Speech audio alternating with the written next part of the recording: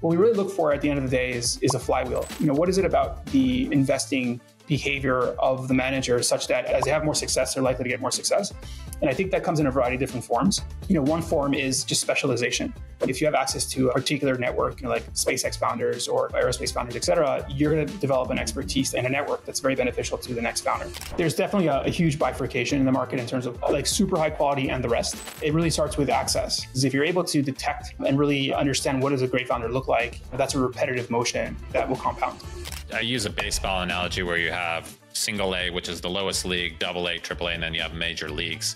And a player could be very good at single A or double A and can be completely crushed at the major league in terms of fund size and, and round. And writing a 25 or 100 or 250K pre seed check is very different than trying to lead a Series A where you're competing against the multi stage firms. I think the most dangerous thing for a fund the funds investor that's focused also on co investing is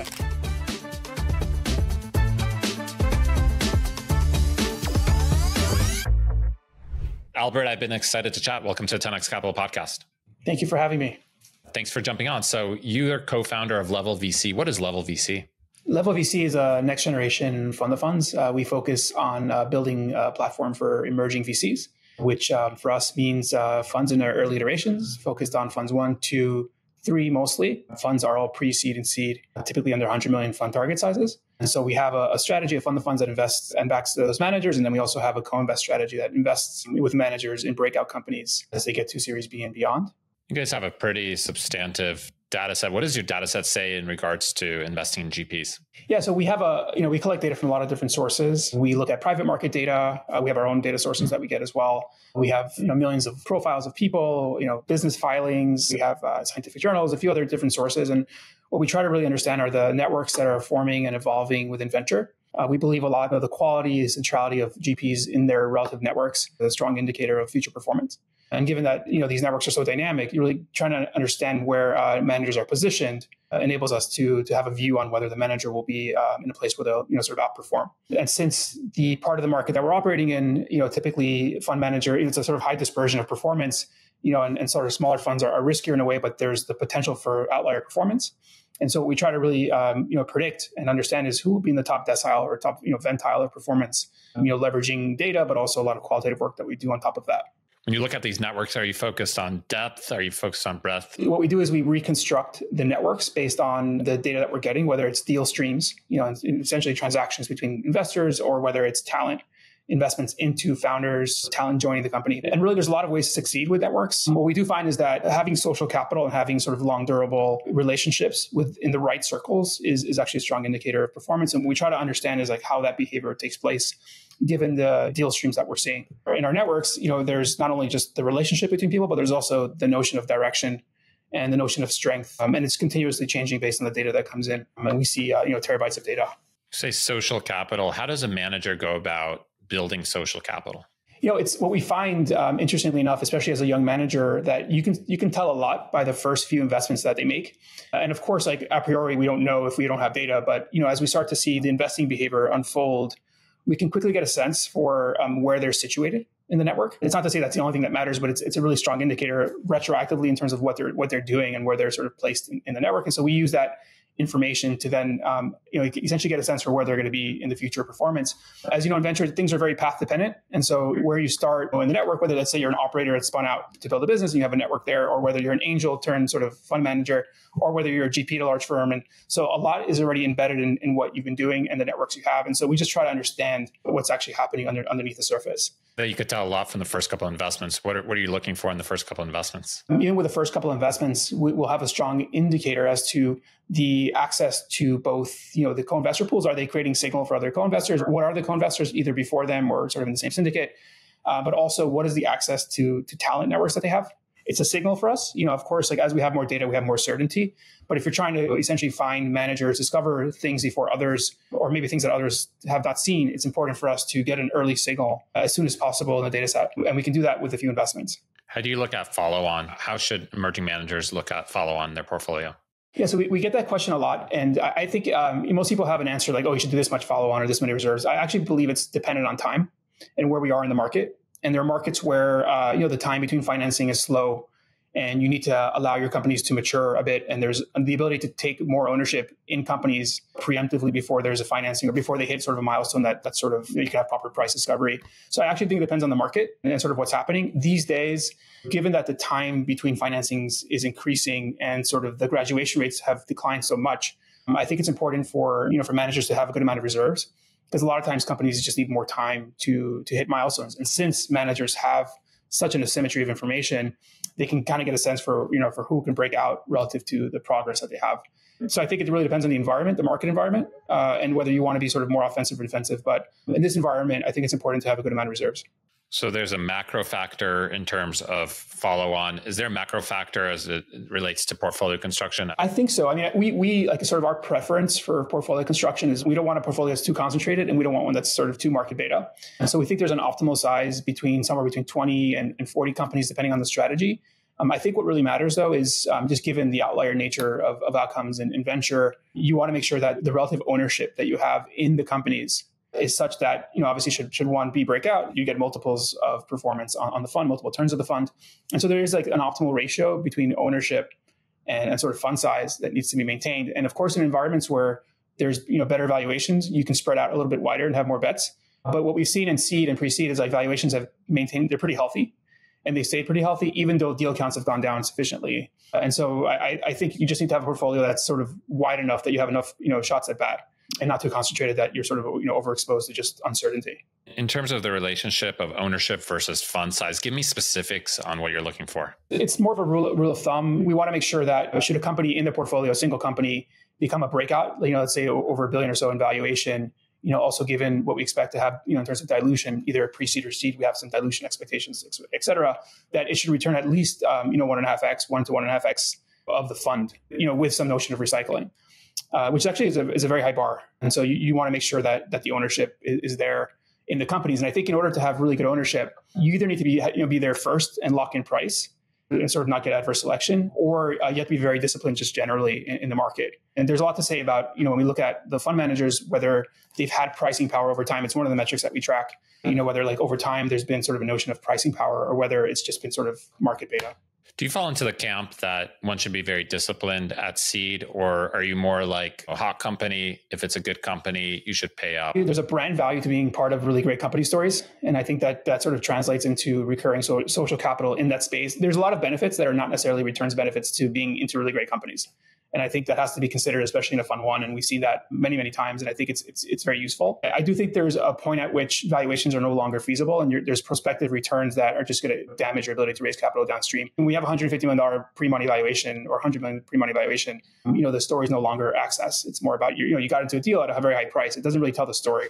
But I think there's there is benefit, there's social capital benefit to getting into really great companies early that may be a little bit more high priced. But generally speaking, the returns come from you know sort of good discipline in investing. You want your fund managers to be offensive when it comes to seed extension, a bit of a contrarian view. Why is that? Most of what we do here in, in the firm is, is focused around technical risk versus go-to-market risk. To the extent that a lot of the dollars go to R&D and sort of executing uh, against sort of R&D milestones. And typically we're in markets that are really, really, really large. And so it, it happens, you know, generally speaking, with uh, you know more complex businesses that it takes a you know it's hard to predict when certain technical milestones will be hit. But there's an asymmetry of information that the manager has as to what it'll take, you know, as the company progresses to hit those milestones. And so, you know, if, if you believe that, you know, it's, it's a six month or, or one year time frame that they need, then there's a benefit to taking more ownership at, at typically a similar price before sort of a, a big inflection. Uh, and that's what I mean by by being more offensive. And then of course there's the situations where companies break out and you know they, there's price discovery and and there you just want to kind of like maintain your, your ownership. But the offensive situations are ones in which you can really have asymmetric returns. How do you add value to your GPs? We're focused on technology as as the value add. Uh, we've you know collected a very very large scale data set, which you know is, is complex to do because you know you have to take in very noisy data sets that are very heterogeneous and be able to map them, map entities and things like that. And these are very hard problems that I guess few people have, have solved. And so with that, we do a lot of anal- analytics on top of it and just trying to understand talent, um, you know, trying to understand investors. And so what we've been doing with uh, with GPs is, you know, either they'll send us like an ad hoc data request, like we want to track this company, what are the best engineers that are leaving? Uh, we get those all the time. Or we can enrich existing workflows that they have. So if, for example, they're getting a lot of inbound and you know in, in, their pipeline and they want to be able to you know understand what's high quality in that sort of inbound then we can do like that kind of enrichment Um, and then there's a slew of other things that we can provide for them, including like tracking like open source uh, GitHub repositories for interesting projects that are taking off, or maybe research labs that are that are sort of developing interesting, highly cited research. So it depends on what they need. Uh, but what we try to do at the onset is understand the infrastructure they have, where they are in their journey of like sort of being data driven, and then we have a process by which we um, we sort of unpack that and see where we can add value. How has your value add evolved since you started in Jan 2021? Yeah, I just think you know when we first started, we were new to the business, and we had to learn a lot as well ourselves, uh, and sort of understand the nuances of what you know GPs need, and and where we can differentiate. Uh, you know, at the end of the day, like we want to be able to get access to constrained opportunities in the best GPs, you know, in the top quintile of, of VCs. And so we've evolved over time as to that. But what we found was like the we want to align our own investing process and sort of what we build in terms of the capabilities and value add that we have for ourselves with what we can offer others.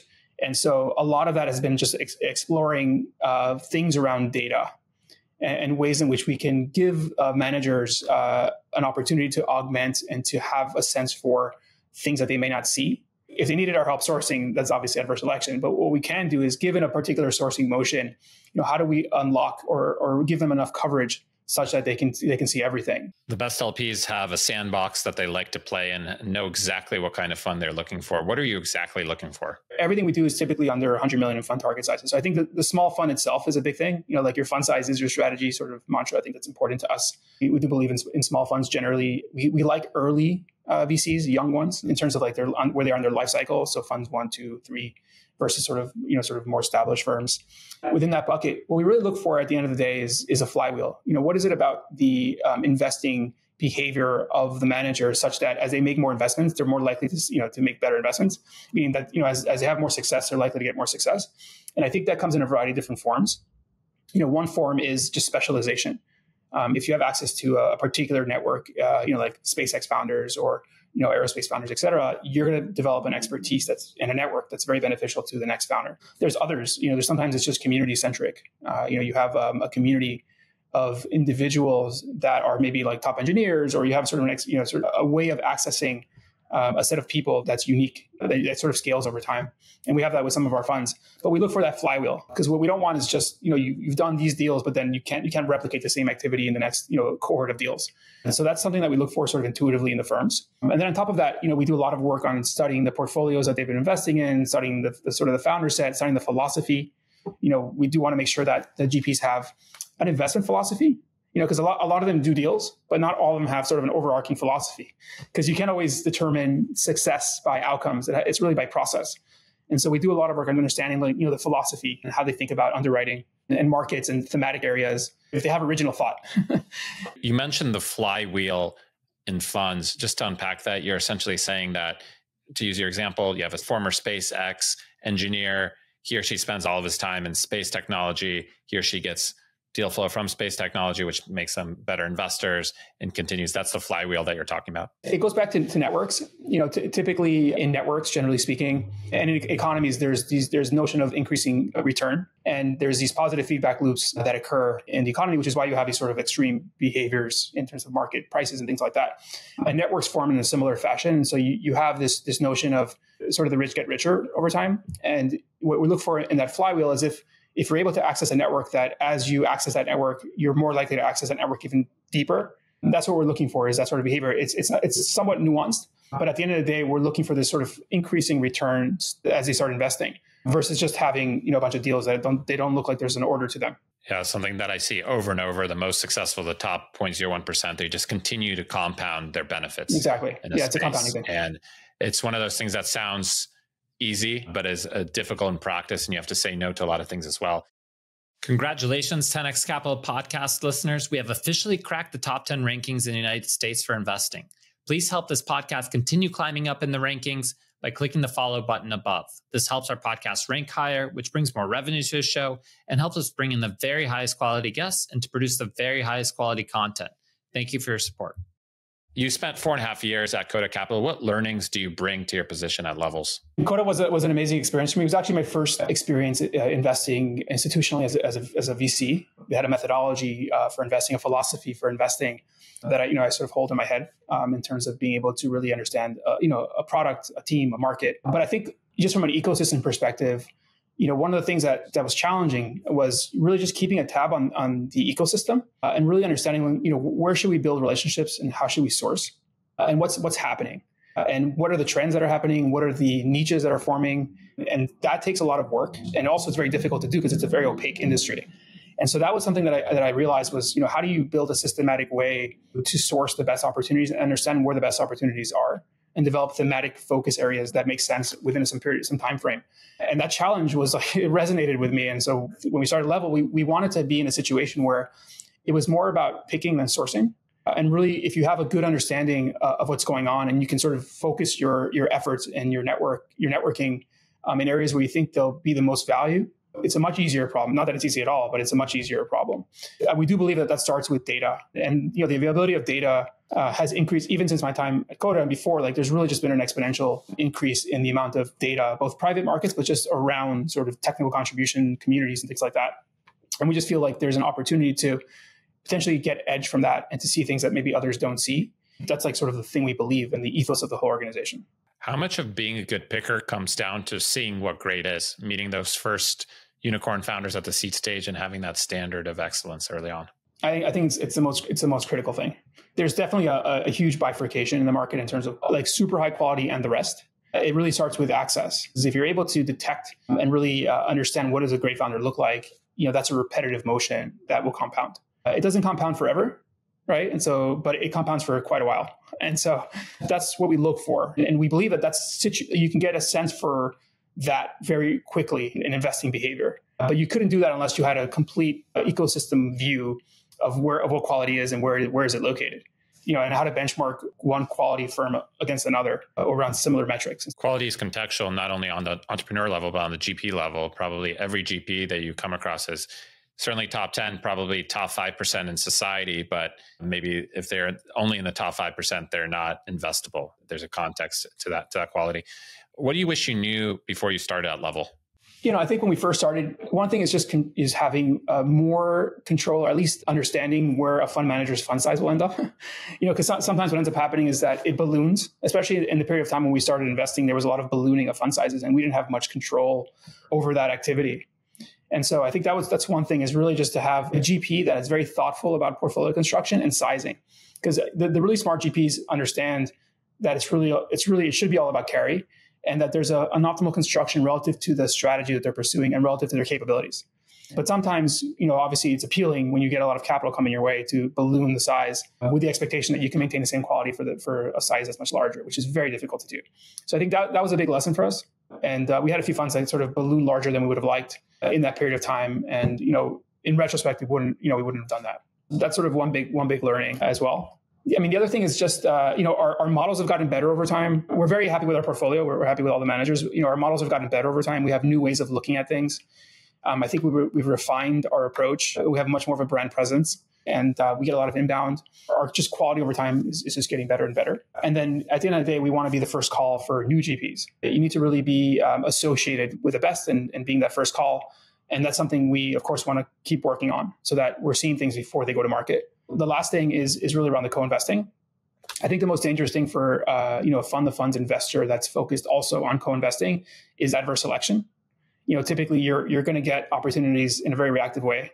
And, and if you're seeing it, the first question you ask is not what the company does, but like literally, why am I seeing it? What we believe is that you need to have a really good understanding of the portfolios preemptively have value that you bring to the GP and value, you know, essentially also to the entrepreneurs over time, such that you have a really good sense of what quality is before they go out to market, and you can preempt some of those situations.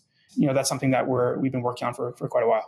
How do you suss out whether a manager is going to scale their AUM? Uh, most managers aren't going to tell you. So, what have you found best practices to predict this? We we literally just ask them. You know, one way we do it is just sort of ask them. You know, what, what's your vision for the firm? What what will be the size of your next fund? How are you thinking about team composition? you know, how are you thinking about strategy moving forward? Um, you can get a sense really quickly. And most of them are, are very honest on what their, you know, what their agenda is in terms of like growing and scaling the firm. There's many that we speak to and they say, look, we really just want to stay, you know, at a range that we think is, is doable and feasible. And that's actually a very big criteria for us that they're very introspective and inte- intellectually honest about whether they can compete, you know, as, as the fund size gets larger because there is this quantum leap. I don't know exactly what size it is. It's probably around maybe 40 or 50 where, you know, you have to start leading And the game theory, of course, changes in the market in terms of your ability to actually compete and win allocation and not be adverse selected. Uh, especially when you're competing not only with peers but also with large, you know, multi-stage firms that have big platforms. So like there has to be that intellectual honesty there. The knowledge I use a baseball analogy where you have single A, which is the lowest league, double A, triple A, and then you have major leagues. And a player could be very good at single A or double A and could be completely crushed at the major league in terms of fund size and, and round. And, you know, having writing a 25 or 100 or 250k pre-seed check is very different than trying to lead a series a where you're competing against the multi-stage firms. What do you believe that other fund of funds do not believe? The biggest difference i think we've seen and we, we collaborate it's, it's, it's sort of an interesting world is that you have a lot of people you collaborate with. You're, you're not often competing for you know for allocation against them and so we, we spend a lot of time talking to other lps whether they're fund of funds or whether they're you know, sort of more institutional investors or even a lot of family offices that are investing in, in this area. And we try to collaborate a lot uh, and help our funds raise as well. Um, I think what makes us very different and why we get a lot of questions coming our way is really the data angle. Typically, like when you when you meet a manager for the first time, even if you look at their presentation and their track record, you know, which either is either not applicable or, or not existent, is you have a very difficult time unpacking and understanding whether this is a good investment or not. And especially as you go earlier in this sort of fund life cycle, it's just almost impossible. Um, and there's a lot of studies that show there's just like not even a correlation between the early IRR and sort of the you know the asymptotic IRR of the firm. And so, since we have an angle which uh, helps us unpack the manager in a lot of different ways using sort of market based data, uh, a lot of people come our way and ask us, what do we think about this manager and what, what does your data show? And that's sort of one piece of it, which I think is, is critical. And over time, we should also have our own flywheel in terms of getting more and more data, more network data. The other piece of it is the whole ethos that we have with GPs is quite different. We're not just treated, you know, only as an allocator, you know, because we're also builders. It's a small nuance, but when they talk to us, we can, you know, go very deep into, you know, the nature of LLMs or, or what we think about, you know, the market or the technology infrastructure with, with regards to like generative AI or other areas and they really appreciate that lens and that angle. And when they look at our demo and our infrastructure, they, they feel like there's a good you know synergy between us. And I think this new generation of GPs, you know, it's a younger generation. You know, they're very switched on. They want to see sort of a often another kind of LP around the table. Who are the most thoughtful institutional investors that invest in the venture asset class? I, I, think some of the endowments are, are really good. I think they have a good sense for not not not all of them, but some of them are really really good in terms of their investing behaviors. Not not all of them go down to this level in terms of like the sizing of funds and all that.